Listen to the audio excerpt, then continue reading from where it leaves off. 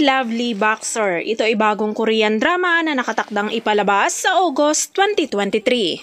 Ang My Lovely Boxer ay isang sports drama batay sa nobelang My Lovely Boxer Lee Kwon Sok.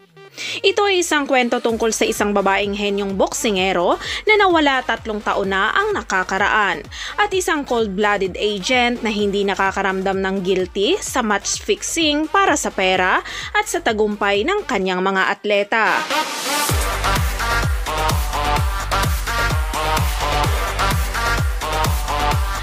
Actor Lee Sang-yob ay gumanap bilang Kim Taeyang, isang sports agent na umaakit sa mga mahuhusay na manlalaro at nagretero sa kanila sa maiksing panahon. Si Kim Taeyang ay isang cold-blooded sport agent.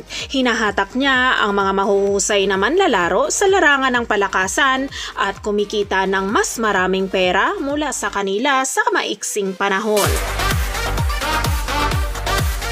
Habang si actress Kim Soo-yi naman ay gumanap bilang Lee Kwon-sok, isang henyong boksingero na lumitaw bilang isang boxing star sa edad ng labing pito.